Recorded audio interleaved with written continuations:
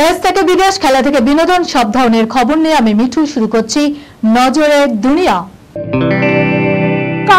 মেশিনের বিশ্বস্ত প্রতিষ্ঠান Auditone speech and hearing clinic কানে শুনতে না পাওয়া বা শুনতে সমস্যা।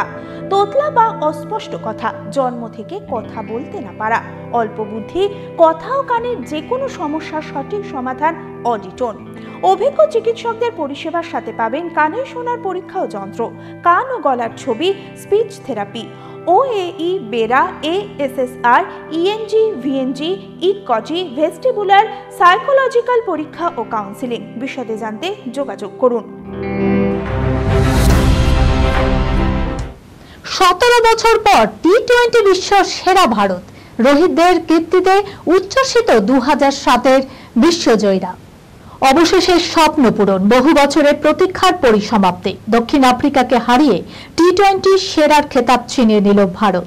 সতেরো বছরের অপেক্ষার অবসান। দু সালের পর ফের টি টোয়েন্টি বিশ্বকাপের চ্যাম্পিয়ন ভারত। শনিবার সেই জয়ের পরে আবেগে ভাসলেন প্রথমবারের বিশ্বজয়ীরা। অধিনায়ক মহেন্দ্র সিং ধোনি থেকে শুরু করে গৌতম গম্ভীর সকলেই সোশ্যাল মিডিয়ায় শুভেচ্ছা জানিয়েছে রোহিত ব্রিগেডকে। উল্লেখ্য, সেবারের চ্যাম্পিয়ন ব্রিগেডের তরুণ সদস্য রোহিত শর্মাই শনিবার টি টোয়েন্টির নতুন বিশ্ব চ্যাম্পিয়ন অধিনায়ক হিসেবে ট্রফি হাতে নেন। শেষ ওভারে ষোলো রান বাঁচাতে নেমে দুরন্ত বোলিং হার্দিকের শেষ পর্যন্ত সাত রানে ম্যাচ জিতে চ্যাম্পিয়ন টিম ইন্ডিয়া। চার দশকে প্রথমবার আগামী মাসে অস্ট্রেলিয়া সফরে প্রধানমন্ত্রী নরেন্দ্র মোদী। তিনি রাশিয়া যাচ্ছেন কিনা তা নিয়ে এখনও কিছু জানায়নি কেন্দ্র। তবে প্রধানমন্ত্রী নরেন্দ্র মোদীর এই সফর ঘিরে জল্পনা তুঙ্গে। এরই মাঝে শোনা যাচ্ছে, আগামী জুলাই মাসেই নাকি অস্ট্রেলিয়া সফরে যাবেন মোদী। প্রায় চার দশক ধরে ইউরোপের এই দেশটিতে পা রাখেননি ভারতের কোনো প্রধানমন্ত্রী। চলতি বছরের শুরুতে তেইশ বছর পর ভারতীয় বিদেশমন্ত্রী হিসাবে অস্ট্রেলিয়ায় গিয়েছিলেন এস জয়শঙ্কর। আগামী মাসেই রাশিয়া সফরে যেতে পারেন মোদী। এমনটাই দাবি করা হয়েছে রুশ বিদেশ দপ্তরের এক সূত্রের তরফে। এবার একাধিক আন্তর্জাতিক সংবাদ মাধ্যমের দাবি, জুলাইয়ের দ্বিতীয় সপ্তাহে অস্ট্রিয়ায় পা রাখবেন মোদী। রুশ প্রেসিডেন্ট ভ্লাদিমির পুতিনের সঙ্গে বৈঠক সেরেই ইউরোপীয় দেশটির রাজধানী ভিয়েনায় যাবেন তিনি। জানা গিয়েছে, এই মুহূর্তে মোট পঁয়ত্রিশটি ভারতীয় প্রযুক্তি সংস্থা রয়েছে অস্ট্রেলিয়ায় ভারতের বিশেষ করে প্রযুক্তির শহর বেঙ্গালুরুতে অস্ট্রেলিয়ার লগ্নির জন্য মোদীর এই সফর গুরুত্বপূর্ণ। বিশ্বের সবচেয়ে লম্বা মানুষটি দোতলা বাড়ির সমান লম্বা। এক একটা হাতের পাতা প্রায় এগারো ইঞ্চি। চলুন জেনে নেই তার কথা। বিশ্বের সবচেয়ে লম্বা মানুষ তুর্কির এক ছোট্ট শহর মার্দিনের বাসিন্দা।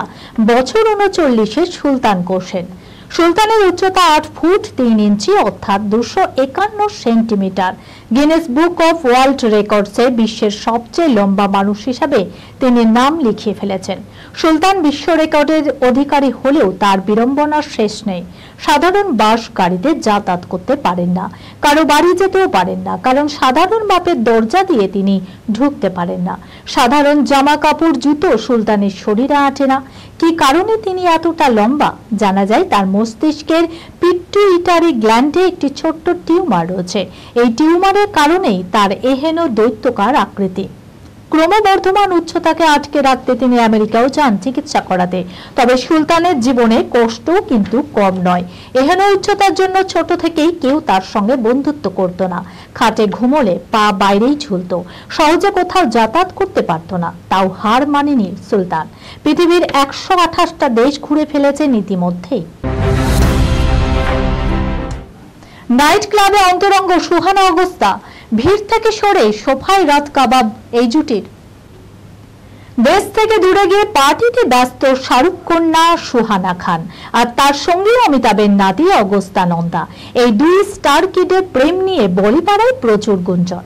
প্রকাশ্যে এই প্রেম স্বীকার না করলেও গোপনে কিন্তু দুজনের প্রেম নজরে পড়েছে সবার। এই যেমন এই মুহূর্তে লন্ডনে রয়েছে সুহানা আর সেখানেই এক নাইট ক্লাবে রাতের পার্টিতে মরত সুহানা ও অগস্তা। সম্প্রতি সোশ্যাল মিডিয়ায় একটি ছবি ভাইরাল হয়েছে, সেখানে দেখা গিয়েছে খুবই অন্তরঙ্গ অবস্থায় রয়েছে সুহানা ও অগস্তা। এমনকি ঘনিষ্ঠদের থেকে পাওয়া খবর অনুযায়ী নাইট ক্লাবের কোনায় রাখা এক সোফাতেও অন্তরঙ্গ অবস্থায় দেখা গিয়েছে তাদের। বি টাউনে এখন কান বাতলেই সম্পর্কের গুঞ্জন। তারকা জুটি তো বটেই, বরং প্রেমের হাওয়া এখন সেলের সন্তানদের মধ্যেও। আর সেই তালিকাতেই অন্যতম চর্চিত বন্ধুত্ব অগস্তা সোহানার। এই খবরের সঙ্গে শেষ করলাম আজকে নজরে দুনিয়া। আপনারা দেখছেন টিভি টোয়েন্টি বাংলা। সংবাদ বিনোদন সারাদিন সারাক্ষণ।